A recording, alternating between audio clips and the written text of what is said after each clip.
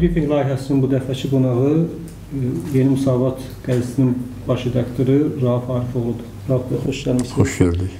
E, deməli, briefing layihəsində müxtəlif suallar olur. Biz ümid edirik ki, suallarımız da, cavablarımız da maraqlanacaq. E, Rauf bəy, e, sualımız budur. Medianın hazırki durumu e, məlum, hazırki durumu ilə bağlıdır sualım. Uzun illər bu sahədə e, çap mediasında çalışmısınız. İndi e, həm çap mediasını qoruyub saxlaya bilmisiniz, həm elektron e, mediasını inkişaf elətdirirsiniz.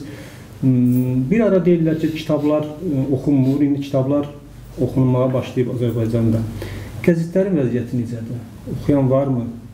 Print medianın vəziyyəti yaxşı deyil. Təkcə ona görə yox ki, ə, oxuyan yoxdur. Ona görə ki, Azərbaycanlılar bu texniki nailiyyətlərə çox tez adaptasiya olunurlar. Türkiyə ə, camiyyəsindən, başqa camiyyələrdən daha tez. Və m, onlayn oxumağa üstünlük verirlər. Bunu apardığımız ə, kiçik rəy sorğuları da sübut eləyir. Onsuz da bazarımız dar idi. Əhalinin ə, sayına görə indi də daha da pisləşib print medianın vəziyyəti, amma saxlamaq ənənə baxımından, tarix baxımından mühümdür. Eyni zamanda da minlərlə hələ də insan var ki, oradan oxumaq istəyir. Ticari vəziyyəti düzəltmək lazımdır. Bizim qəzetlərimizin ticari görünüşü satış üçün uyğun deyil. Onu düzəltmək üçün də gərək yaxşı bir mətbə ola, ucuz mətbə ola, çox maya dəyəri çox yüksək olmasın. Rəhli mətbələrdə çıxmaq bahalı baş, başa gəlir. Və biz ona görə də çalışdıq ki, ə, onun belə ə, küncə sıxılması və can verməsi prosesini izləməkdənsə bir birləşdirək imkanları. Nə, nə elədik? Baza olaraq və işçilər olaraq, eyni zamanda sistem planlaşdırma olaraq print media çap mediası üzərində qurduq bütün işi. İşə gəlmək, qrafik davamiyyət, xəbər istehsalı, yazı istehsalı, köşə yazıları və s. Və bunu əlimizdə olan e, internet resurs üzərindən, musavat.com üzərindən e, e, internet mediası statusuna yönəltdik, yüksəltdik. Bax, hər sabah açılır. Azərbaycanın bütün onlayn mediası sabah saat adətən e, 9.30-dan başlayır. Saat 10-a qədər e, sabah saat 10-a qədər 2 ya 3 xəbər qoyur. Biz 150 min işarəli xəbər qoyuruq. 8 və 10 arasında. O baxımdan çünki print media var arxada. E, 16 səhifə var. 16 səhifənin 15 səhifəsini ora yükləyirik. Bu 130 min, 150 min arasında xəbər deməkdir, işarə baxımından, yazı deməkdir, manşet deməkdir, on, ə, demə, onlayn medianın yerdə qalan komponentlərinə mövzu verəcək yeni tapıntılar deməkdir, müsahibələr deməkdir. Axı print media, qəzetdən gələnlər e, indiki halda məktəb keçmişlər deməkdir. E, onlayn media məktəbi yoxdur axı Azərbaycanda. Sosial şəbəkə məktəbləri də yoxdur. Samauçkadır, özünə öyrənmədir. O baxımdan o üstünlük bizdə var. E, məhz buna görə də günortadan sonra açıq etiraf edeyim ki, digər media quruluşları, onlayn media quruluşları bizi keçirlər. Amma günortaya qədər ki, o tirajı ki, götürürük, yığırıq, o bizə axşama qədər bizi daşıya bilər, IP-ləri yığırıq. Yəni, ə, paralel ekrana stavka elədik, paralel ekran nədir? Telefondur. O ekrana, indi onun əsridir. O ekrana stavka elədik, bir dəyişim elədik, amma köhnəni də, ənənəni də saxlamaq şərti ilə ə, bir menecer kimi saxlamamaq lazımdır. Amma bir ə, sistem yaradan, qəzet yaradan, 89-cu ildən üzü bu yana onu gətirən bir e, menecer kimi, bir e, KİV media qrupu rəhbəri kimi onu ya, saxlamaq məcburiyyəti hiss elədim. Hələ ki, davam edirik. 30-cu ilimizdir. Yeri gəlmişkən bu il. Yeni Müsavat qəzetinin. Təbrik edirik. Rəbb bəy, e, hər halda deyəsən abunə kampaniyasına da bir başlamışdı. Sizə hərdən olur belə aksiyalar. Nəticə nə, nə oldu? Nəticə unikal oldu. Əvvəla məlum oldu ki, qəzet oxumaq istəyənlər hələ də var və çoxdur onların sayı. Onlara dəstək də çoxdur. Onların media tərəfdarları belə ona dəstək verirlər və eyni zamanda hər kəs o fikirdədir ki, ənənəni dayanmağa qoymaq olmaz. Hər kəs deyərkən bir çoxları. Və nəticə də real da oldu. Biz e, təxminən e, 1500 saya yaxın abunə yığdıq. Düzdür, onların böyük əksəriyyətinin müddəti 3 ay, 4 ay, 5 aylıqdır. Bir illik çox azdır. Amma hər halda o mərhələni keçdik e, və onsuz da bizim elə bir problemimiz yox idi. Amma biz eyni zamanda digər media quruluşlarına da vəziyyətdən çıxış yollarını göstərdik ki, daha bir aktivlik, daha bir atak, daha bir hücum o oxucuya yönəlik, daha bir çıxartma eləmək mümkündür. Elədik, e, Şərq qəzeti də, başqa qəzetlər də buna qoşuldular və Azərbaycanda hesab edirəm ki, evində sistematik qəzet oxuyanların e, sayı bir neçə min nəfər çoxaldı ümumi götürəndə Azərbaycan üzrə. E, bəs daşınma, paylanma necədir? Çünki Elxan Şahinoğlu'nun bir statusu vardı, bilmirəm görmüşdünüzsə yox. O şikayətlənmişdi ki, yığılır, yığılır, gündəlik oxumaq istəyirəm. Abunə ona görə olmuşam, amma yığıl, yığırlar bir həftədə bir dəfə gətirirlər. Buna görə də abunəlik məsələsinə yenidən baxacağam. Hələ Bakıda belədir. Gör indi rayonlarda necədir. Sovet dövründə hamı xatırlayar. Paştalyon institutu təsisatı var idi. Paştalyonlar kəndlərdə velosipedlə ya da atla ə, qəzet daşıyırdılar, dağıdırdılar. Sovet hakimiyyəti o qədər önəm verirdi ki, ən ucqar kəndlərə belə qəzet keçsin. O sistemi bərpa eləmək lazımdır. Onun da imkan var. Yəni ya dövlət mənə qrant versə, ya başqa yerlərdən cəhd eləmişəm bir neçə dəfə Sorosdan və başqa təsisatlardan illər öncə özümüz bir təsisat yarada bilsək, mən bunu qura bilərəm.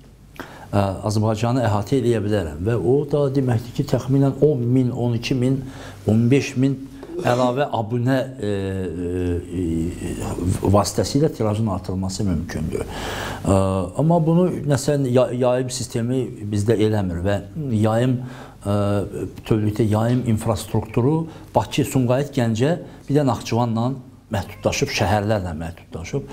O da ona görədir ki, dükan qoyurlar, dükanda qəzet və bərabər paralel olaraq başqa avadanlıqlar da satırlar. Onu bir biznes nöqtəsinə çevirilər. Qəzetin gəliri orada ən sonuncuda dayanır. Belə xalq xətrin qalması. Bey, bu satırlar. reallıqda, yəni problemləri e, sadaladınız, qeyd elədiniz. Bu reallıqda sizcə bu qədər qəzeti saxlamağa ehtiyac varmı? Bir halda ki, oxucu azdır, həvəssizdir. Qəzeti kollektiv saxlamalıdır və ə, menecer saxlamalıdır və o mütləq mütləq deməli 1 2 3 4 5 deyə özü üçün çıxarmalıdır, niyə saxlayır?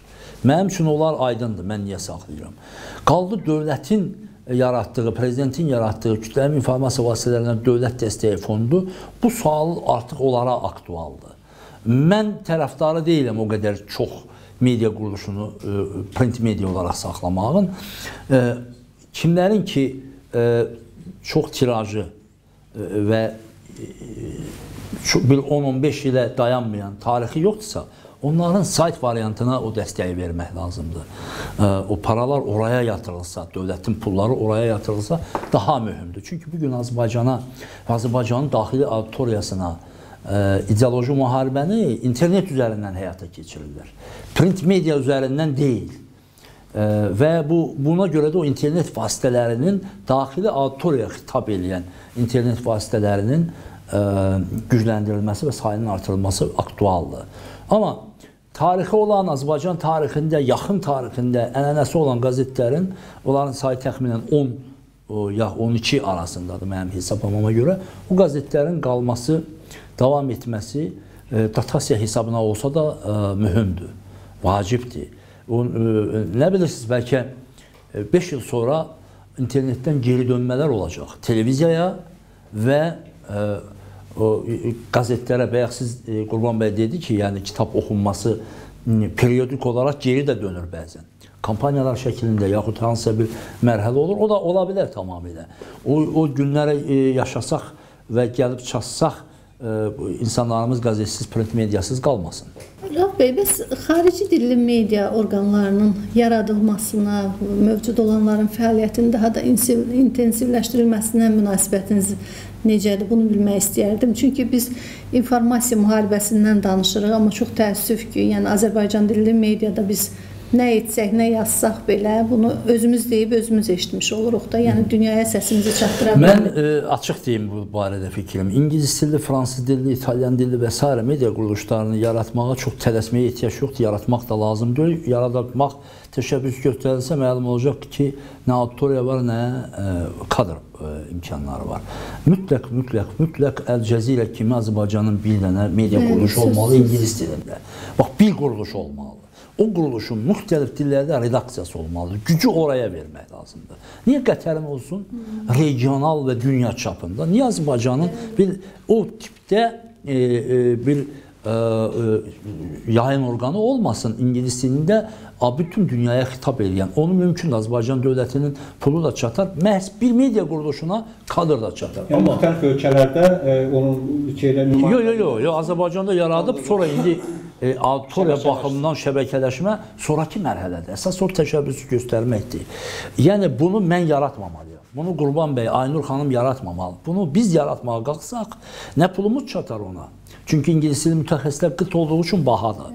Nə imkanlarımız, nə avadanlıqlar və s. nə də axı o yaranan kimi mütləq bazarda kimlə rəqabət aparacaq? Yeni müsabiqətlə aparmayacaq. CNN-lə, Əl Cəzirə ilə, TRT World-lə regionda ən güclüsü İngil Türk arealında TRT World-dür.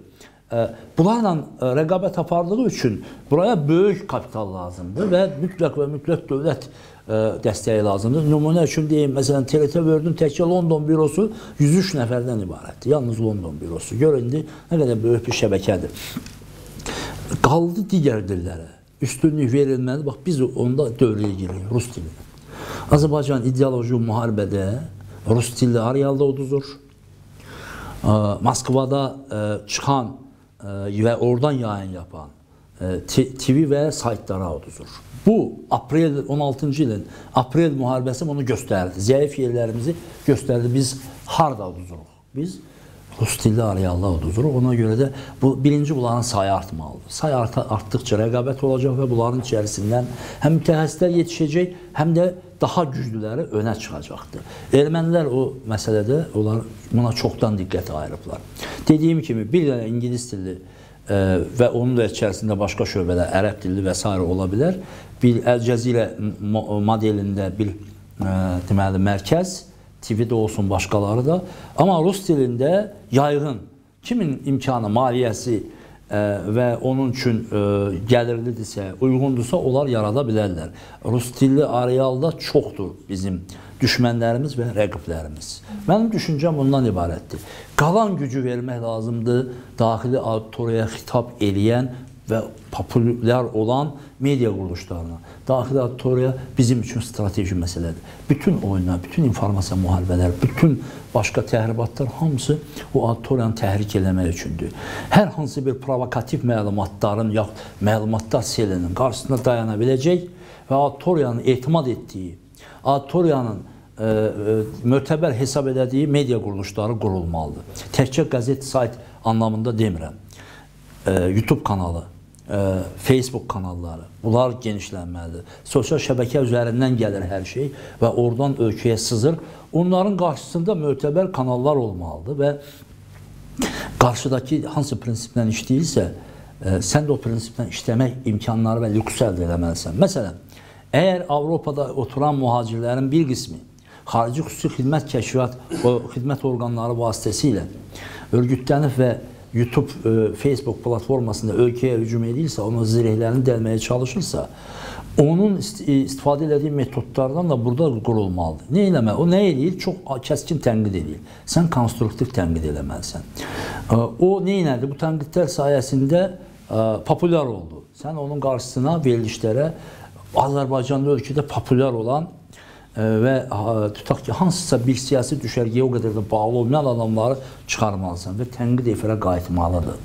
Konstruktiv tənqid Heydər Əliyevin hakimiyyəti illərində e, Azərbaycan mediasına gətirdiyi o tənqid rakursu, baxışı və canlı yayım modeli ölkəyə qayıtmalıdır. Qayıtmasa efir e, Avropaya axacaq.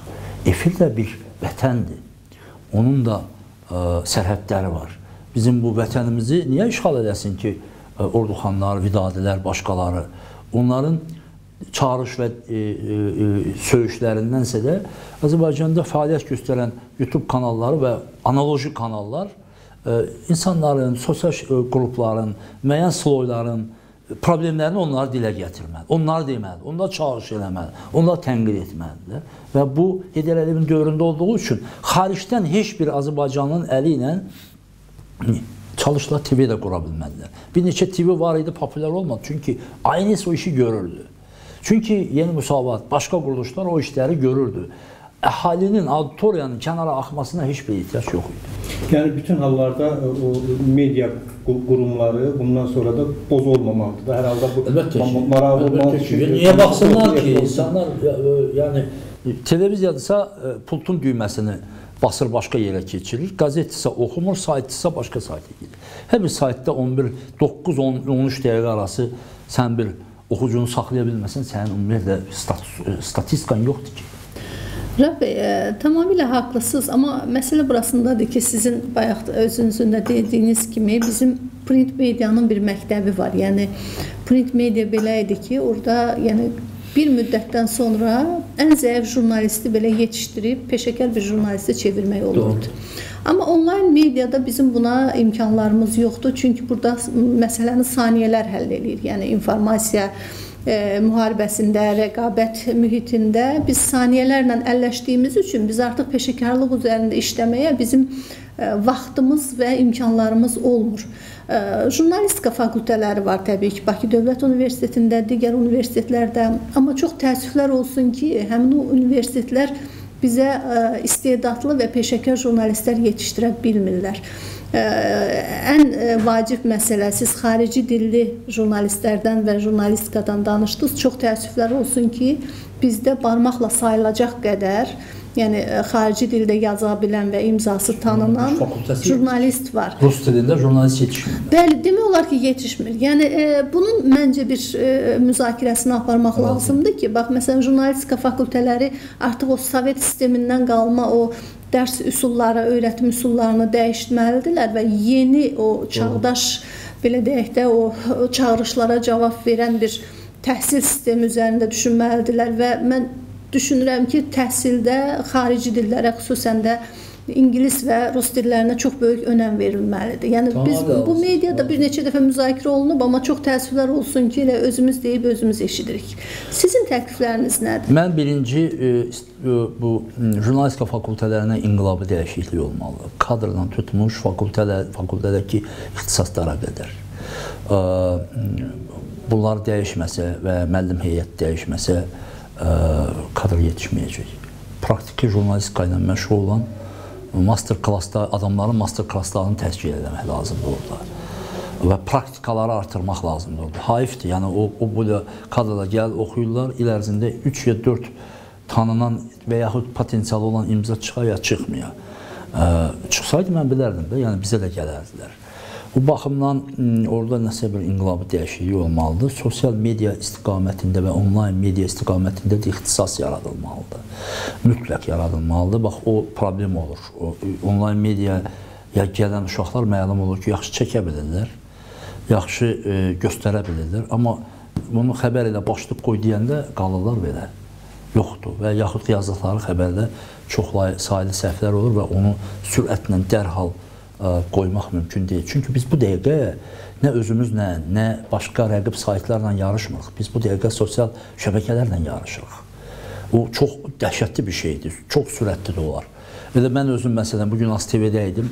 Şəkil çəkdim, qoydum, artıq xəbər getdi ki, axşam ə, bir tok show olacaqdı. Siz də götürdünüz ondan xəbər düzəltdiniz. Sürətə bax.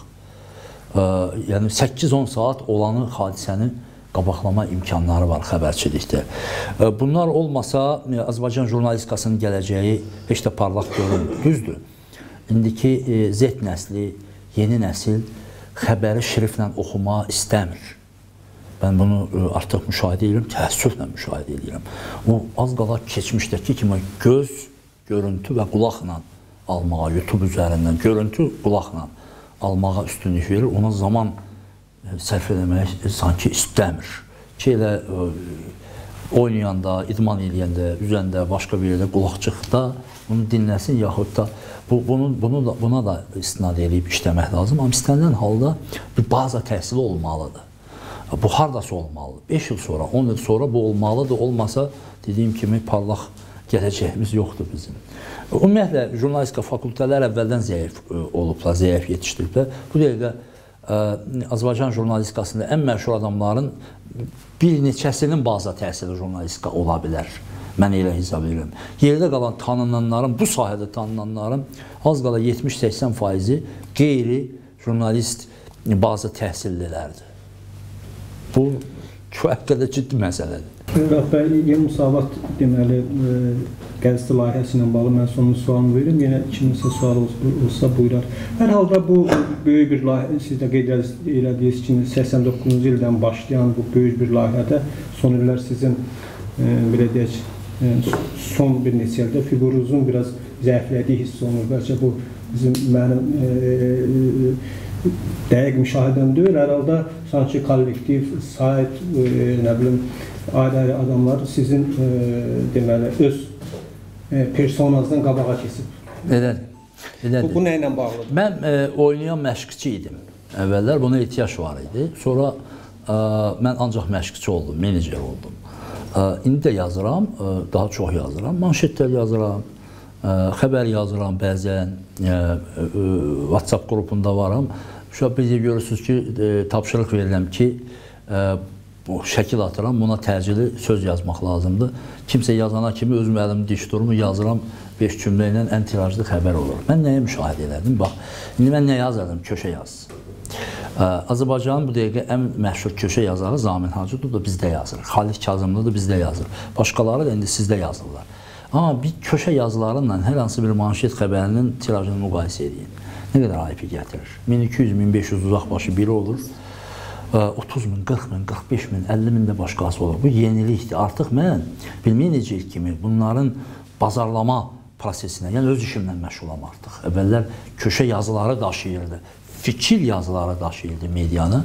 İndi e, məni kimi adamların e, və məni kimi yazarların e, yazılarına inanın ki, bazarda o qədər də yüksək ehtiyac yoxdur. E, ayrı-ayrı qruplar, ayrı-ayrı e, siyasətin ayrı-ayrı sektorunda olan insanlar üçün xitab edildiyi həmin vaxtlarda. İndi bütövlükdə yeni oxucu kütləsinə xitab edir. Çünki Yeni Müsavat qəzeti bir partiya qəzetindən bir xəbər portalına və qəzetinə, media qrupuna keçidi yaşamış, çox mürəkkəb taleyi olan bir e, media quruluşudur və bu transformasiyanı həyata keçirmək elə asan bir məsələ deyildi. Mən yazmaqda davam edəsəydim bu transformasiya olmayacaqdı. Mən yazmağı dayandırıb bu prosesi həyata keçirməklə ona xidmət elədim ki, Yeni Müsavat qəzeti kimi ağır dili olan müxalifət media quruluşunun sayt variantı oldu, sonra rus dilində versiyonlar oldu, sonra başqa saytlar oldu, sonra YouTube kanalı oldu, sonra Facebook kanalı oldu, birini 150 140 3000lik kanalın abunəsi var, o birisinin 70 minlik abunəsi var. Bu artıq əvvəlki gücümüzü bir neçə dəfə keçmək deməkdir. Məqsəd də nədir? Daha çox yayılmaq. Məqsəd nədir? Xəbər xidməti göstərmək. Məqsəd nədir? Öz xəbərini oxutdurmaq. Məqsəd nədir? Saytı və əlində olan saytlarda oxucunu daha çox saxlamaq. 13-15 dəqiqəni buraxmamaq onu, oraya girdisə çıxmasın. Bunlara nail ola bilirik və buna nail olma prosesində mən o yazı yükünü boşaltmasaydım, təbii ki, bunu eləyə bilməzdim. Daha böyük düşünmək lazımdır mənim düşüncəmə görə. Rəf bəy, səhv eləmirəmsə qızınız da jurnal xaricdə jurnalist təhsili alır. Hər halda jurnalistika bir çox jurnalistikada olan, yəni uzun illər olan insanlar deyir ki, bu sahə çətindir, övladımı yönəltmərəm və s. və ilaxır. Niyə qızınız seçdi? Onu bəlkə müsavata varis kimi yetişdirirsiniz? Mən desəm. Deməli, Aytən Abbaslı ə, çox uşaq idi, mən də həbsxanada idim. O mənə məktublar yazırdı. O məktublarda xəyal qururdu, təsvir edirdi, o necə gələcək, necə keçəcək, mənim yanımda qalsın. 8 ya 9 yaşı vardı. Mən orada kəşf elədim ki, o bu qızımdan da məktub alırdım. Onda elə şey yox idi. Sadə birbaşa yazırdı. Amma bu esse kimi yazırdı. 8-ci 9-un 8-9 yaşında bir uşaq. Və mən orada kəşf elədim, özünə də yazdım ki, qızım sən jurnalistsən.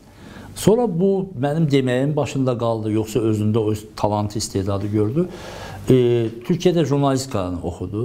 Sonra da e, deməli Britaniyada e, dokumental sənətli film üzrə oxudu, master. İndi orada APA e, Holdingin e, büro rəhbəridir. London bürosunun rəhbəridir. Artıq bir ildən çoxdur ki, il yarım da orada işləyir, oxuyub qutarıb. E, çətin e, sənət zad deyil. E, çox rahatdır sadəcə olaraq çətinliyi yaradan sənin seçimlərin, sən nə jurnalistikada hansı istiqaməti seçirsən. O ilk əvvəllər aytən ekstrem jurnalistikasına, savaş jurnalistikasına üstünlük verildi. Türkiyədə oxuduğum müddətdə mən bilmədən harada nə qazı oldu, sonraya getdi, oradan reportaj yazdı. Sonra da istəyirdi ki, Suriyaya, başqa yerlərə getsin, mən onu yönəltdim ə, ə, oxumağa, təhsilə. Və sonra da elə qismət elə oldu ki, orada qaldı. Amma müsavata yazmır. Qrupda var. Qrupda var, yazır, amma müsavat.com qoyur. Bəzən ə, APA-nın qəbul edəmədiyi xəbərləri biz e, veririk, qəbul edirik, gedir.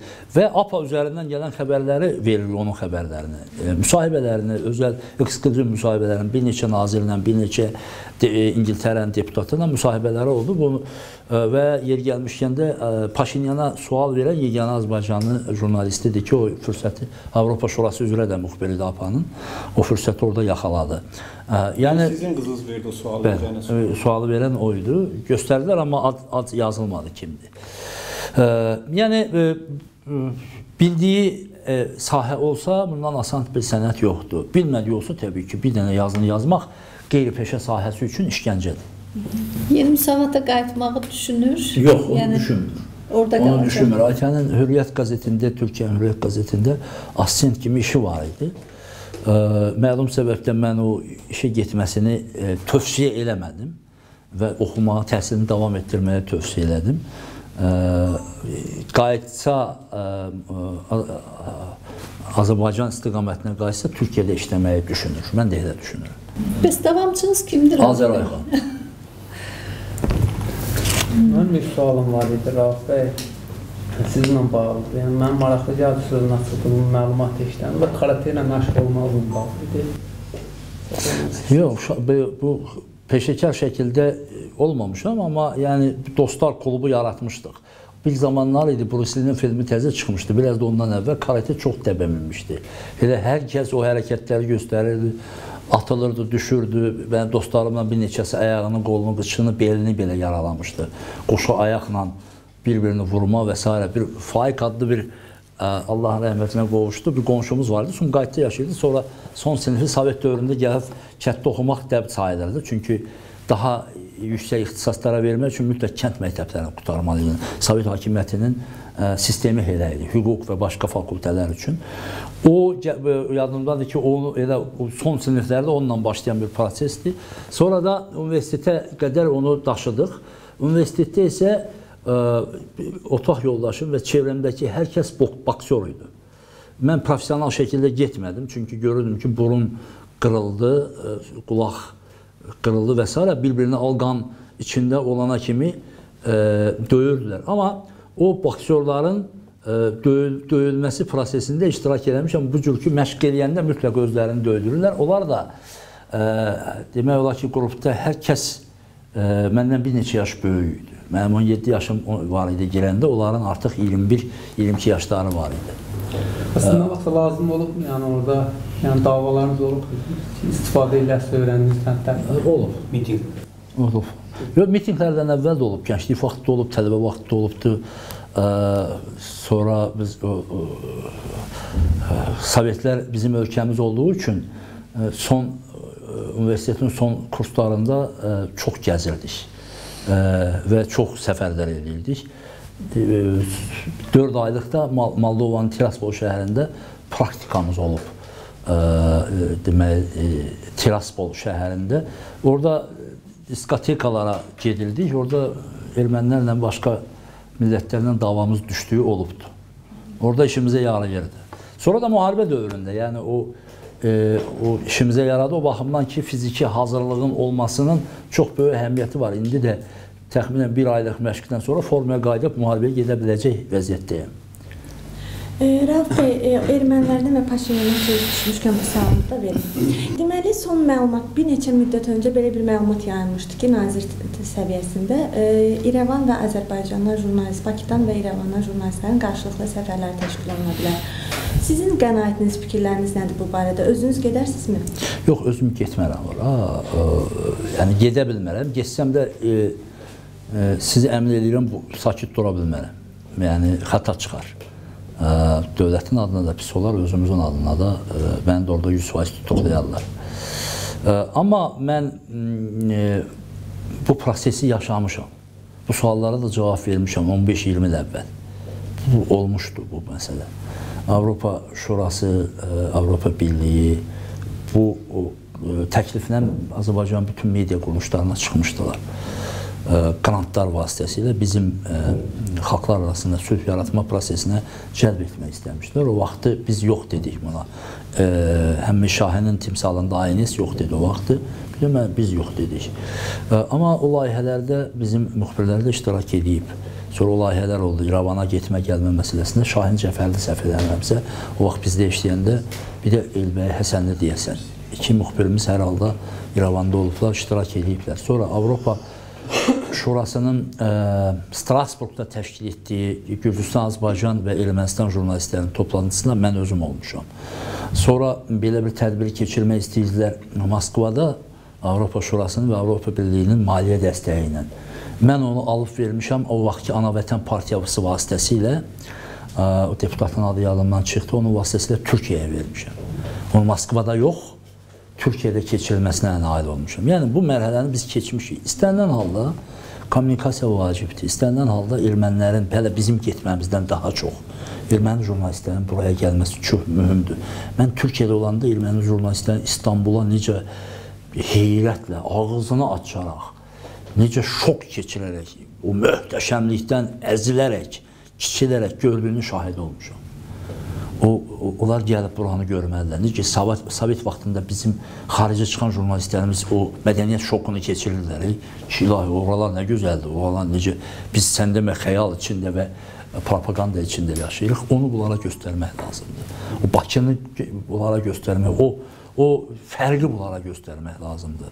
Və e, bizim texniki imkanlarımız onlardan çox-çox e, üstündəki əksər redaksiyalarda mənim məlumatıma görə. Orada qəzetləri gəzdirmək lazımdır. Yəni ermənilər uzun müddət bizim hədəf kütləmiz olacaq. Biz onlarla e, dırnaqarası işləməyə bəzi hallarda da müharibə aparmağa məcbur Üstəlik də e, bizim nə qədər istəməsək də e, ən azı bir neçə 10 min ya 100 minə yaxın erməni vətəndaşımız var və olacaq. Biz o şeyləri göstərməliyik ki, biz e, e, Azərbaycanın bütövlüyünü, dövlətini tanıyan, biət edən hər bir kəslə e, millətindən asılı olmayaraq dinç yanaşı yaşamaq və öz dövlətimizdə öz vətəndaşımız kimi onunla davranmaq mədəniyyətinə malikik. Bunu həm də dünyaya göstərməliyik. Bu baxımdan mənim düşüncəm o vaxtı çox haykü oldu. Çox bu günlərdə də çox ə, ə, ura patriotların da ə, çox haykü oldu, amma əslində nə şəkildəsə o təmasları həyata keçirmək lazımdır.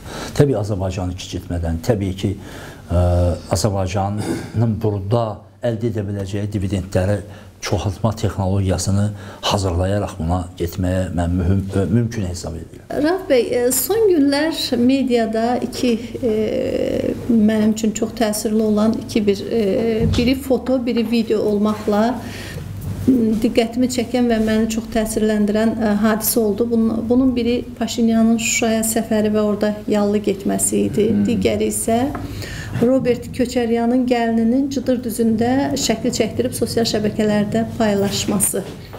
Sizə təsiri nədən ibarət oldu? Yox, çox ağır təsir oldu. Oh, hmm, bunun qarşısını almaq olar. Aa, xüsusi bir ə, hətta lokal müharibəyə də gərək yoxdur. O zamana kimi dövlət ə, bu qərarı verənə qədər. Mən hesab edirəm ki, ə, partizan dəstələri, o qisas dəstələri o yerdə cəmaatdan ibarət ə, yaratmağa vaxtı çoxdan keçibdi. Kim olsam onu eləyərdi, biz də eləməliyik. Onlar oradan rahat olmasınlar. O meşəlikdə, o ormanlıqda, o cıdır düzündə, Şuşada hər zaman narahat olsunlar və öz adamlarını da oraya buraxmasınlar. O bizim ərazimizdir. O bizim torpağımızdır. O bizim haqqımızdır. İndi demirəm bu dəqiqə müharibəni başlasınlar və onun üçün xarici faktorlar, başqa çox önəmli faktorlara ehtiyac var, amma bunu eləyə bilərlər. Necə ki, Dilqam dinc vətəndaş da olsa, ə, oraya gedirdilər, gəlirdilər, özü də çox dəfəlik olub. 98 ya 99-cu ildə də gedirdilər və biz ondan, Elbəy Həsənli ondan müsahibə almışdı o vaxt, o müəllimlə. Gedirlərsə, onların bir neçəsi silah da götürüb gedə bilər də. Neçəsi bu 2-3 dəfə orada bu ə, hərbi kontingentə münasibətdə, demirəm dinci əhaliyə münasibətdə. Bu ə, prosedur həyata keçirilsə, partizanların edə biləcəyi prosedur. Orada ə, dinç məskunlaşma ə, olmayacaq. Bizim üçün strateji məsələ nədir? Oradakı məskunlaşmaya imkan verməməkdir.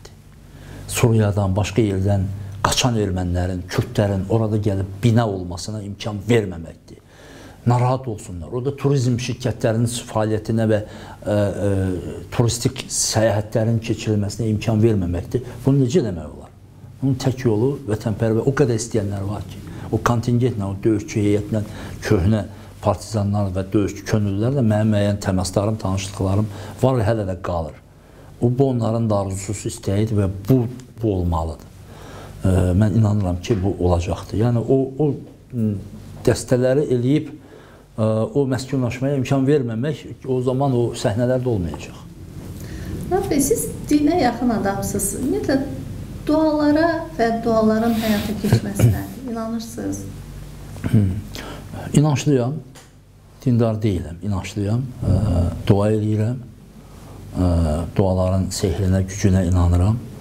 Ə, və ə, həyatımda da neçə dəfə ə, buna şahid olmuşam. Məsələn, ə, söz sözün qüdrətidir bu. Ə, mən sizə elə bir gözəl söz deyərəm ki, ə, siz ondan çox xoş hal olarsınız ya burada olanların hər birinə ə, və içinizdə mənə müsbət ə, pozitiv bir ə, enerji yaranır və sonra da mən bir şey xahiş edirəm, siz onu çevirməzsiniz. Yaxud da mən sizə elə ağır sözlər deyərəm ki, durduğunuz yerdə məndən dalaşa bilərsiniz. Mənə negativ yaranar, çox pis cavab verərsiniz. İki dost bəzən gedirlər bir yerdə, sonra bir o birisini bıçaqlayır. Səbəb nədir? Arada ancaq söz olur. Başqa bir şey olmur. Yəni bir də var Allahın sözü. İndi insanın özünün bir-birinə dediyi sezin sehrinə bax və bir də Allahın sözünün deyilməyinə, o ə, evrənə, kainata göndərilməsinə bax. Sən onunla özünü ə, cərəyana qoşursan. O energetikaya, o sözlər səni görünməyən energetik alana, o pozitiv alana soxur. Tam tərsinə, o negativ sözlər səni evrəndə mövcud olan negativ sahəyə yönləndirir və sən o özünə qayıdır. O, o, o e, dua ki, müstəcəb olur, e, o. O əslində sənin özünün etdiyindir. Sən əməl eləyirsən, deyib balasının qarşısına çıxır, xoş bir iş görürsən, evladın qarşısına. Sən öz etdiyindir. Dolaşır o evrəndən, heç nə itmir. Heç nə itmir. Hər şey oradadır. Və bir zaman gələcək ki, elə bir zaman gələcək ki, o evrəndəki min il bundan əvvəlki səsləri təyin edib yazmaq mümkün olacaq. Çünki buradan heç nə itmir, heç yerə getmir. Bu baxımdan, yəni özümün də e, ibadətdən, itaətdən e, və e, başqa prosedurlardan başqa özümün də bir düşüncələrim var, özümün də bir sintezim var, özümün də bir sistemim var bu məsələlərlə bağlı. Bir qismini e, cana açıqladım və dua eləməkdən heç kim əlini çəkməsin. Bəzən bir həkimin eləmədiyi, eləyə bilmədiyini min insanın duası eləyə bilir.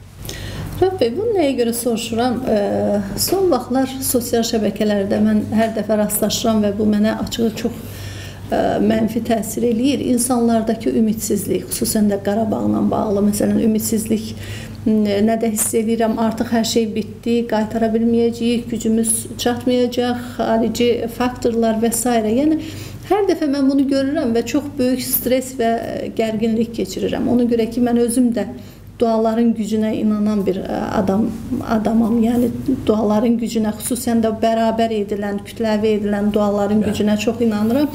Yəni düşünürəm ki, yəni insanlar, bizim toplumumuz birinci növbədə öz şuurlarında, düşüncələrində, dualarında Qarabağı qaytarmalıdırlar və sonra da biz onu müharibə yolu ilə, sülh yolu ilə mütləq qaytaracağıq. Yəni birinci növbədə bax bu uduzmaq düşüncədəki uduzmaqdır ki, bu çox təhlükəlidir. Doğrudur. Ümidsizlik heç yaxşı bir şey deyil. Amma bu ümummilli amilə çevriləndə burada bir dənə pozitiv nöqtə yaranır. Ümummilli amil o deməkdir ki, hər kəsin beynində eyni işarə var. O deməkdir ki, hər kəs eyni qənaətdədir. Və həm də o deməkdir ki, hər kəsi bir komanda ilə düzəldib, düzləndirib ruhlandırmaq da olar. Bu baxımdan dərin ümidsizlik bəzən istiqlal savaşı doğurur. Dərin ümidsizlik və çıxılmazlıq bəzən ümidsizcəsinə ya Allah, bismillah deyərək bir ölkənin qurtuluşuna səbəb olur. Mən o dərin ümidsizliyi yaşamaq ə, ə, Azərbaycan cəmiyyətində yaşamağa əsaslıq görmürəm, əsas görmürəm. Amma olsa belə faciə də görmürəm. Ə, Azərbaycan ordusu var, Azərbaycanın gücü var. Azərbaycan 16-cı il aprel ayının əvvəllərində həyata keçirdiyi əməliyyatla Ermənistanda hakimiyyəti dəyişə bildi. Monolit erməni cəmiyyətini darmadağın elədi. Bugünkü Paşinyan bizim əsərimizdir. Paşinyanı iqtidara biz gətirmişik. Dedilər, bəziləri deyirlər ki, o etki verdi, şəhid verdi, boşuna getdi. Boşuna da getmədi. Ordu, erməni ordusunun nə olduğunu özünə göstərdik. İctimaiyyətə göstərdik və müharibə partiyasını darmadağın elədik. Əgər Köçəryan Azərbaycan ə, qarşı cinayətlər həyata keçirmiş ə, Robert Köçəryan həbsxanaya girdisə, qısa müddətli də olsa, onun qohumları təqib olundusa, onun özü təqib altına alındısa, bu Azərbaycanın arzuları idi bu. Azərbaycan bunu istəyərdi. Orada bir Azərbaycanlı hakimiyyətə gəlsə onu dama qoyardı. O baxımdan Paşinyan bizim əsərimizdir. Bizim gördüyümüz fəaliyyətin nəticəsidir ki, Ermənistan cəmiyyəti qeyri-müharibə partiyasından bir jurnalist seçdi, birini seçdi. Başqa düşünən bir, bir adamı seçdi. Bu baxımdan da əslində bu dəqiqə dərin ümidsizliyə düçar olacaq bir cəmiyyət varsa o da Ermənistanda. Türk-müsəlman arayalında özünü təkləməkdədir və bu gün sabah Rusiyanın Avrasiyaçıları Kremlə əsas ideyanın Türkiyə-Azərbaycan birliyinin, Türkiyə-Rusiya-Azərbaycan birliyinin Ermənistan forpostu institutundan daha vacib olduğunu aşılaya bilsələr Ermənistanın əhəmiyyəti getdi və özü də getdi. Ermənistan gələcəkdə bir dövlət kimi mövcud olmaya bilər. O dərəcədə təhlükəli bir arealdadır. Azərbaycan isə türk və İslam arealının ən parlaq nöqtəsidir, ən nümunəvi bir dövlətidir. Bu baxımdan da elə dərin ümidsizlik və o ümidsizliyi görəndə ayrı-ayrı fraqmentlərdə sizi kimi rəy liderlərinin ə, stres keçirməsinə heç bir əsas görmürəm mən. Bəs Paşinyan niyə gəldi rahat şəkildə oynadı? Əgər bu Azərbaycan qorxusu yəni, fərqli bir düşüncənin yiyəsi idisə, məsələn Azərbaycan ordusunun təzyiqi nəticəsində hakimiyyətə gəlmişsə, niyə Əlim Qolu Sabidə Sabidə rahat şəkildə gəldi, Şuşada yallısını elədi, açdı, getdi? Yox, mən demədim Azərbaycan gətirdi. Mən dedim ki, o prosesin nəticəsi olaraq Ermənistan cəmiyyətində elə bir tərsinə dönüş başladı ki, Ermənistan cəmiyyəti artıq müharibə partiyasının təmsilçisini yox, e, bir jurnalistika sektorunda bir adamı seçdi, gətirdi. Paşinyanın ə, hakimiyyətə gəlmədiyi dövrlərdə verdiyi mülakat, müsahibə və açıqlamaları bir oxuyun. Ə, pozitivdir. Yəni opozisiyadır müharibə partiyasına münasibətdə. İndi hakimiyyətə gəldi, onu qorumaq ehtiyacı var. Bu dəqiqə təkcə Şuşada yallı oynamır. O prezident yaxud baş nazir rolunu oynayır orada. O yallı gedən Paşinyan bir erməni rəhbəri hakimiyyətdə qalmağın yollarını və ermənilərin Dağlıq Qarabağ ermənilərinin ürəyinə yol tapmağın yollarını düşünür. Oğlunu da o məqsədlə ora göndərmişdi. Əks halda o Qarabağ klanı onu məhv edəcək. Yəni ə, bizim ə, Elçi bəy hakimiyyətinin günə düşə bilər. Yəni bir il olmasın, iki il sonra o qədər güclü bir kökü var ki, o Qarabağ klanının ə, orada. O o o, o elektorata stavka edir. Azərbaycan ordusu ona imkan verməməlidir mənim düşüncəmə görə. Azərbaycan raketləri, təyyarəsi imkan verməməlidir. Bu mənim düşüncəmdir. Amma dediyim kimi o bayaqki o təhdid yoxdur deyən özünə rahat hesab edir. Nəinki o gəlir. Xarici turistlər belə gəlib gedə bilirlər. Bu bizim qanımıza toxunur. Paşinyan da bizim qanımıza toxunur. Bizim e, e, bizim uşaq deyil ki o. Bu bir ermənidir və Ermənistanı e, Azərbaycan torpaqlarını işğal edilmiş Ermənistanı təmsil edir. Amma bu gün bir nümunə mən sizə deyim, bugün Paşinyan birdən-birə qəfildən qərar versə və bəyan eləsə ki, Ermənistan Azərbaycan torpaqlarını boşaldır, biz işğal etmişik, çıxmalıyıq, onu nə gözləyir sizcə? Bir gün içərisində yeyib bitirər. Erməni, erməni cəmiyyəti budur. O sözü heç kim deməz Ermənistan. Kim hakimiyyətə gəlsə, ə, o sözü desə hakimiyyətdən gedəcək. Yaxud da o sözü deyən adamın birbaşa hakimiyyətə gəlməsi e, mümkünsüz görünür. Ermənistan e, cəmiyyəti e, bayaq dedim, əslində dərin e, bir e, ümidsizlik içərisində olması gerəkən cəmiyyətdir. Amma ermənilər niyə onu keçirmir? Çünki ermənilər bəzən xəyali, xəstə bir təxəyyülün ətrafında birləşməyi bacaran e, bir qəribə bir toplumdur. İrreallıqda yaşayan bir toplumdur. Məsələn, bir nümunə deyim. Dənizdən dənizə Ermənistan xəritəsini buraxdılar. Ermənistan o ideyanın ətrafında konsolidasiya olundu. Mümkün deyil. Sayı belə çatmaz. Yaşam məskənlərinə belə yetməyəcək dərəcədə azdılar. Amma o xəritə onları konsolidasiya elədi, cəmləşdirdi. Sonra Miyatsum ideyası onları cəmləşdirdi, bir işğalçı bir cəmiyyətə dönüşdürdü. Amma Böyük Azərbaycan xəritəsini ha buraxırıq Azərbaycanlar onun ətrafında birləşmir. Vahid Azərbaycan ideyasını ha deyirik onun ətrafında Elçi bəy mülklərindən başqa ə, çox az sayda insan onun ətrafında olur. Yəni hər bir millətin özünün açarı var. Bizimkilər reallıqla bağlıdır. Ermənilər qeyri-reallıqla bağlıdır və ona görə də o millətin mən sonunu görmürəm. O ə, Rusiya sayəsində dövlət oldu. Rusiya sayəsində ə, ərazi işğal etdi. Rusiya və bir qism də İran sayəsində oralarda böyüdü və yüksəlməkdə davam edir. Daha doğrusu irəliləməkdə davam edir. Amma e, bir millətlər üçün və regional proseslər üçün 100 il, 200 il, 300 il elə bir müddət deyil. 600 il Osmanlı imperiyası olubdu, amma indi o dövrə gəlib çatmışıq ki, Osmanlı imperiyası ərazisində olan dövlətlərin çoxu bu dəqiqə ə, türk ə, düşmənliyi aparırlar. Yəni bu ə, prosesdə də mən ermənilərin enində sonunda inşallah bir 100 il sonra görüşüb sizlə bu söhbəti eləyərik. 100 il sonra onların hansı vəziyyətdə düşəcəyi, ümumiyyətlə o ərazidə mövcud ol olmayacağı ciddi şəkildə deyirəm. Çox böyük sual altındadır. Ermənistan Rusiyanın sayəsində dövlət olduğunu deyirsiniz. Məsələn, biz niyə məsələn kimisə sayəsində Qarabağı qaytara bilmədik? Yəni siyasi proseslərin içində olmuş insansınız. Yəni müəyyən qədər bir məlumat ola bilər. Yəni Rusiyanın sayəsində qaytara bilmirik. Yəni Rusiyanın e, birinci Pyotrdan üzü bu yana rəhbərliyi hesab edir ki və hesablayır ki, ermənilər regionda bunların əsas dəyişilməz və ən sadiq müttəfiqləridir. Biz bu ə, dünya görüşünü dəyişmək üçün indi təşəbbüslər edirik. O təşəbbüslərin görünən və görünməyən tərəfləri var. O təşəbbüslərin görünməyən tərəfləri sayəsində artıq görünən faktlar ortaya çıxıb. Neçə yüz il sonra Rusiya və Rusiya və Türkiyə münasibətləri düzəlib, normallaşıb. Bu prosesdə qəribə bir məsələ var. Bu prosesdə Azərbaycan və Azərbaycan rəhbərliyinin rolu çox böyükdür. Kiçik bir Azərbaycan iki nəhəng dövlətin ə, bir dəfə pozulan, təyyarəyə görə pozulan münasibətlərin düzəlməsində həll edici rol oynadı Azərbaycan prezidenti. Ondan sonra da yaxınlaşma və strategiyanın qurulması prosesində. Bilirsiniz ki, türklərlə ruslar həmişə vuruşublar. Həmişə müharibə aparıblar. Bu yeni bir trenddir. Bu trendin ortasında Azərbaycanın marağı nədir? Azərbaycanın marağı odur ki, Rusiyanı və indiki rəhbərliyi və Rusiya intelligensiyasını Ermənistan forpostu ideyasından ayırmaq. Bu bizim üçün olsa, mümkün olsa. Biz bu prosesi, müharibəni bir 15 günə alacağıq. Mümkün olmama variantımız da yoxdur, çünki bizim üçün böyük təhdiddir. Ya olacaq, ya olacaq. A, 2008-ci ildə Saakashvilinin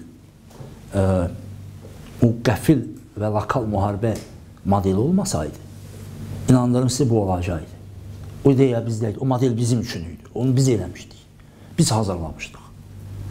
O e, indi skandal eləmək istəmirəm, xaincəsinə bizim planı bildi və özünə tətbiq elədi. Hesab elədi ki, ona da münasibət o cür olacaqdı. Yadınızdadırsa, Rusiya bastı gəldi Tiflisin 40 kilometrliyə. Amma bizim e, şansımızı 16-cı ilə qədər onu yoxlama imkanına qədər 8 il geriyə saldı. Axı o model bir dəfə yoxlandı, ona icazə verilmədisə biz təzədən necə ona keçə bilərdik. Bizə nədir? Rusiyanın müəyyən bir layihəliyi lazımdır ki, lokal müharibə olsun. İki yarımçıq rayonumuz var. Füzuli və Ağdam. Onun qaytarılması və sonra erməni cəmiyyətinə inandırmaq ki, Azərbaycan gəlir. Erməni cəmiyyəti sülhə hazır olan prezidentini, baş nazirini yeməsin. Yeyir hər dəfə. Biz diplomatiyada uduruq, yeni mərhələ başlayır, e, cəmiyyət e, başındakını devirir, yeni gətirir, yeni oyunçu və yeni qaydalar uzanır proses. Azərbaycan bax bu strategiya strategiyanı həyata keçirə bilsə, bu çox rahat olacaq və yaxın illər illərdə mümkün olacaq.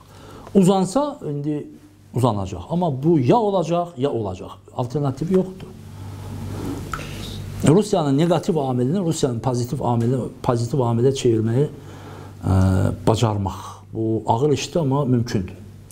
Bir sual da mən verim. Biz elə bir e, indi dövr, dövrdəyik ki, indi bu dəqiqə e, iyun hadisələri baş verib neçə illər qabaq. Əlbəttə uzun bir dövr keçib, insanlar öz fikirlərini dəyişə bilər, rəyləri dəyişə bilər. Özə təkcə bu e, insanın özünün fikirlərində gedən proseslə bağlı deyil, əldə elədiyi faktlarla bağlı olur, başa düşür, başqa şeylər də varmış. Sizin o dövrdəki hadisələrə münasibətiniz hansı e, məsafədə dəyişib və necə dəyişib? Yer gəlmişkən dostunuz Pənah Hüseyn də vacib bir sənədi paylaşmışdı. Müdafiə komitəsinin sənədi. Oh. Və ASTV-də də dedim, ə, ə, mənim də ə, belə deyək, simpati bəslədiyim və tərəflərindən birinin Musavatın rəhbərliyində olduğum hakimiyyət özünü qoruyanmadı. Özü ilə bərabər Azərbaycanı qoruyanmadı. Ölkə çox pis duruma düşdü, krizə düşdü. Və çəkilməyəcək bir məqamda son döyüş taktikası ilə ə, müqavimət göstərəcək bir məqamda geri çəkildilər. Bu gənc yaşımda idim mən o vaxt 26-27 yaşım var idi, saqqalım da qapqara idi. Bu məni o qədər məyus elədi ki, çox məyus oldum. O qədər dərin məyusdur. Çünki biz savaşaraq, döyüşərək, yara alaraq, şəhid verərək bir hakimiyyət qurmuşduq. Onun qədrini bilmədik. Və onu ilasanlıqla elə sakit şəkildə verdik ki, mən o vaxt o fikirdəydim. Mən hətta bir yekə bir söz demişdim Sabayan yanında ki, ya ya sənin ya Elçi bəyin köməkçisi olsaydım mən girəşər qalardım, qoymazdım. Yəni mən o qədər cəhdlər edirdim, biraz istidaqdır idim. Və İsa Qəmbərin ə, partiya xətti ilə Ali Sovetin sədrinin, o da istefa verdi, sədrinin müavini idim partiya xətti ilə. Və mən belə istəyirdim ki, nələr nə qədər cəhd elədim deyil, deyilə bil, deyə bilmirəm. Ki, onları girişdə o gələn Gəncədən gələn dəstə bir tərəfdən 250 nəfər, bir tərəfdən 400 nəfər gəlir. Üst-üstə 1000 nəfər belə deyildi. O panik əhval-ruhiyyə, o qorxu, o təcrübəsizlik və s. O indi bax e, tək o indi yox, hətta ən radikal ə, mühalifətdə olduğum bir dönəmdə hesab edirdim ki, Elçi bəyin həmin situasiyada ən düzgün addımı Heydər Əliyevi çağırmaq idi. Ölkədən getmək şərti ilə Getməmək şərti ilə. postundan getmək şərti. Getməmək şərti ilə. Amma çağırdı, onda buradaydı. Heydər Əliyev 8-də gəldi, səhv eləmirəmsə. Elçi bəy o zaman ə, ya 12-sində gəldi. İndi yaddaşımdan 8-də gəldi. Ən ciddi düzgün addımı onu ə, Azərbaycana dəvət eləməsi idi. Çünki plan başqa idi. Azərbaycan dövlətini bütövlükdə qonşu dövlətlərimiz var idi ki, eləsi var idi ki, fürsət ikən ümumiyyətlə bölüb parçalamaq və ümumiyyətlə yox eləmək istəyirlər.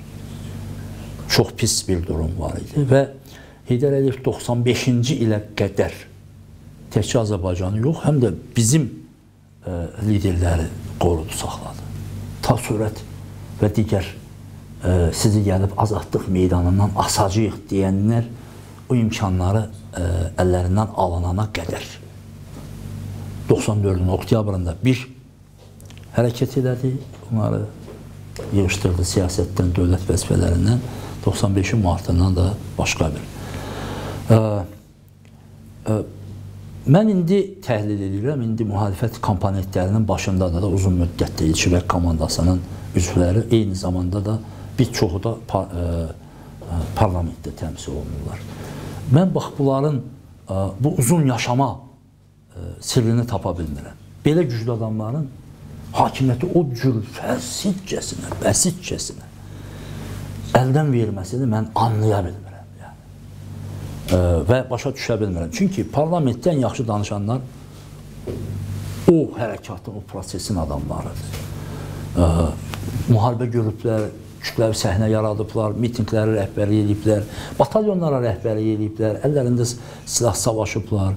Sonra da ən olumsuz şərtlərdə belə, hətta həbsxanalarda belə fəaliyyətini davam etdiriblər, e, e, partiyalarını irəlilədiblər və s. Necə oldu ki, necə oldu ki, bu insanların bir yerdə bir komandada olması belə bir hüsrana gətirdi, çıxardı və bu insanlar o gözəlim hakimiyyəti saxlayamadılar. Özdə Heydər Əliyevdən fərqli olaraq o hakimiyyətə gələndə vəziyyət bambaşqa idi. Bizim e, bizim də deyəndə çox yekə çıxır. Mən həyatım boyu jurnalistdən başqa vəzifədə olmamışam. Elçi bəy hakimiyyətinin heç bir rəqibi və şəriki yox idi. Tək başına idi. Heç nə yox idi. Heç bir oluşum da yox idi. Bir neçə ayda olmadı. Müqavimət göstərən ancaq yerli xalq cəhbələri idi. Onlar da niyə müqavimət göstərdi? O icrabatçısı yox, mənim verdiyim təşkilatlar iki yerə bölünürdü. Biri möhürünlə filan kəsi icrabatçısı təyin edildi, o birisi beşmən kəsi və sonra gəlib xalq cəhbəsinin e, rayon təmsilçiləri gəlib prezident aparatının qabağında çadır qurub qalırlar ki, sən onu qoymamalısan, bunu icra hakimiyyəti qoymalısan. Tam may ayına qədər. Hətta aprelin sonu may ayına qədər heç bir bizim səhnədə bizi yıxacaq qüvvə və bizi aşıracaq qüvvə yox idi, ondan sonra da yox idi. Yəni, yox idi. Bir qətiyyət və medianın imkanlarından Heydər Əliyev qədər yaxud da onun yarısı qədər istifadə eləmək lazım. Az TV-yə çıxmaq lazım idi, çıxmadılar. Müraciət eləmək lazım idi, eləmədilər. Xalqı görəvə səsləmək lazım idi, səsləmədilər. Bu, həmin dövrdə də o qənaətdəydim, indi də həmin qənaətdəyəm. Rauf bəy, düz istəyirəm. Bu Müdafiə Komitəsinin qərarında bir axırda bir əmr var idi ki, Sürət Hüseynov məhv edilsin. Pənah bəyin paylaşdığı. O niyə icra olunmadı? Onun üçün 40 nəfərlik e, Milli Təhlükəsizlik Nazirliyinin spes rotası, xüsusi rotası e, Gəncədə idi. Mən o zaman e, Azərbaycan Xalq Cəhbəsinin İcraiyyə Komitəsinin 7 üzvündən biri vəzifəsindən tezlicə çıxmışdım. Bütün məlumatlar əlimdə idi. Həm də informasiya mərkəzinə rəhbərlik elədiyim üçün bir, bir dönəmdə hətta dövlətin məxfi məlumatlarına belə çıxış imkanlarım var idi. Surəti aradan götürmək yaxud da neytrallaşdırmaq üçün bir neçə vasitə olurdu. Adlarını çəkmirəm, mane olanlar oldu. İndi onlar çoxu mühalifətdədir. Amma Elçi bəyin qərarı ilə Sürət Hüseynovun tutuqlanması yaxud da məhv olunması üçün xüsusi rota ayrılıb 40 nəfərdən ibarət sürət rəhbər rəhbərlik eləyib. Orada olublar. Sürət Hüseynov evindən çıxıb Niva maşınında onu saxlayıblar, sonra buraxılıb. Bu cinayət idi. Niyə buraxıblar? Bilmirəm. O fakt E sonra siz Sürət bilməyəcək. bunu soruşmadınız ki, siz onu niyə tutdunuz, niyə Çox soruşmuşam. İndi bütün suallara cavabım yoxdur mənim. Yəni burada deyə bilmirəm. Elçi bəyə təkrar eləmirəm. Zamanı ehtiyac demirəm. Zaman da keçib deyilməlidir, amma onu özləri desələr, özləri açıqlasalar yaxşıdır. Ümumiyyətlə həmin dövrdə ə, hakimiyyəti təmsil edən güc strukturlarına məxsus insanların hamısı bizim kətdə bir söz var. Pampaq. Çox pampaq. Getdi hamısı əsir düşdü. Əsir düşdülər. Getdi hamısı əsir düşdü. Əllərində güc, arxalarında tank. Getdi əsir düşdü. Yəni bu Elçi bəy neynəsin bunlara tapşırıb da bu şeyləri, icranı. Getdi hamısı əsir düşdü. Sonra da yuxarıdan aşağıya doğru qətiyyətsizlik başladı. Qətiyyətsizlik başladı. O zaman e, Türkiyədən bir 50 nəfər döyüşçü gətirmişdik. Tovuzun Kirən kəndində Ruzgar kampı qurmuşduq onlara. Rəhmətli Noruz Həsənov o kampı qurmuşdu və mən dostum Atilla Qaya, Həmid İltaş, o Türk ordusunun mayoru, Naim Aydoğdu, indi e, Yavuz Səlim Dəmirağ, indi yazıçıdır, e, tanınmış jurnalisti. E, Adnan, e, İrfan qardaşları. Yəni bunların e, həmin dövrdə e, nələr yaşadıklarını və nə təklif etdiklərinin şahidiyəm. Onlar Əbülfəz Elçi və prezidentdən bir dənə yazılı əmr istədilər. Ki biz o pravallardan sonra, hamısından sonra bir də Azərbaycan pasportu. Azərbaycan pasportunu Noruz əmi verdi onlara, ona görə də o vaxt 13 il mühacirətdə qaldı. Ömərov ona cinayət işi qaldırdı, Əli Ömərov. Və girək biz onu həll edirik. O nə kriz. vaxtdır, hansı dövrüdür? 93-cü il iyun ayı. Ayı. Hə, bir neçə o qədər sürətlə olurdu ki, bu prosesdə. O icazə verilmədi. Ən müxtəlif səbəblərdən ə, məncə indiki e, zamanı geriyə döndərmək olsaydı və Əbülfəz Elçi bəydə indiki e, məlumatlar olsaydı, o qərarı verərdi. Türk komandosları girərdi, 20 nəfərlə həll etmək olurdu məsələn. Bax belə məğlubiyyət üzərində qurduq bugünkü brifinqi. Keçən futbol. Sonuncu elə məğlubiyyətlə futboldan bağlı. Nə 5 gün uduzmuşuq. Sizə təsiratlarınızı bizimlə O ağır təəssüratlardır. Futbolu çox sevirəm. Bir müddət ümumiyyətlə da- daha yaxından məşğul olurdum. Bir periodda Azərbaycandan yeganə bir komandaya azarkeşlik eləməyə başladım. Hətta onun arxasınca İsveçrəyə qədər getdim xarici ölkələrə. E, Qarabağ komandasını. Çünki udurdu və çünki bu bizə bu qələbələr, kiçik qələbələr çox vacib idi. Hər hansı sahədə olur olsun. İndi uduzuruq. Adam üzülür. Və e, biz əslində e, bütün oyunları oynamağı bacaran millətik, o cümlədən də futbolu. Nəsə düz deyil. O məsələni professionallar və aidiyyatlı qurumlar bir ölkə rəhbərliyi tapıb həll etməlidir. E, Milləti bu qədər e, üzmək olmaz. İnan Allaha, bayaq mən şəkil paylaşıram ki, filan yerdə tok şoudur, ASTV-də. Altdan yazırlar ki, futbolu müzakirə edin, öldük, üzüldük deyə. E, Görün nə dərəcədə psixikaya e, təsir edir. E, Ümidi bağlamışam Türk millisinə. E, Başqa yaxşı olası da var. Çox sağ olun Rahat bəy, gəldiniz, suallarımızı cavablandırdınız. Sizə də təşəkkür edirəm. Çox gözəl suallar idi. Bu dəvət elədiyiniz üçün, zaman ayırdığınız üçün, sual verdiyiniz üçün minnətdaram. Ümid edirəm ki, bu dediklərimizin e, müəyyən qism insanlara nəsə bir faydası olacaq.